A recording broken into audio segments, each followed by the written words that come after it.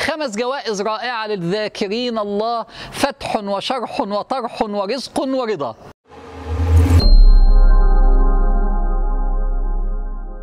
بسم الله الرحمن الرحيم.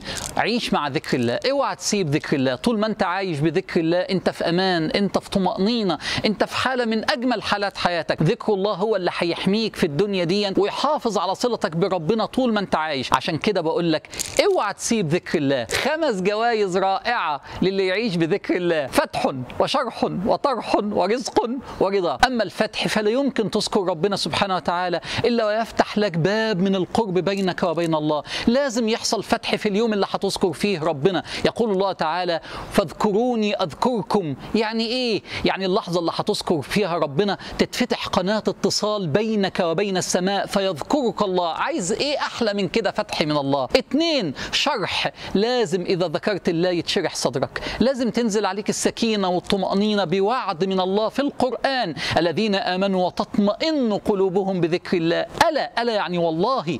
ألا بذكر الله تطمئن القلوب ثلاثة. طرح. لا يمكن تذكر ربنا إلا ويطرح عنك الخطايا والذنوب. يقول الله تبارك وتعالى والذاكرين الله كثيرا والذاكرات أعد الله لهم مغفرة وأجرا عظيما. يعني إيه؟ لازم يتغفر لك في اليوم اللي أنت هتذكر فيه ربنا. أربعة. رزق.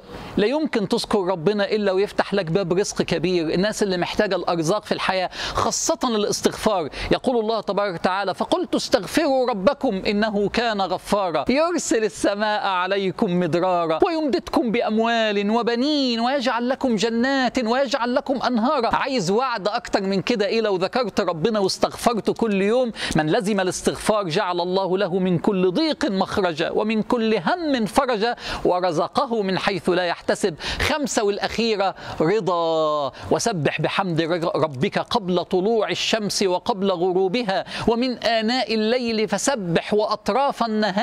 لعلك ترضى لعلك يعني وعد يعني أكيد لا يمكن تسبح بحمد ربنا صبح وليل إلا لازم ربنا يرضيك. اذكروا ربنا يا جماعة. خلي لك ورد ذكر كل يوم تلت ساعة. والله العظيم يفتح عليك فتح كبير. اللهم افتح علينا واشرح صدورنا واطرح عنا خطايانا وارزقنا رزقا واسعا. وارض عنا وارضنا ببركة الذكر يا رب العالمين. انشروا الكلام ده وعيشوا بذكر الله. شكرا والسلام عليكم. ورحمة الله.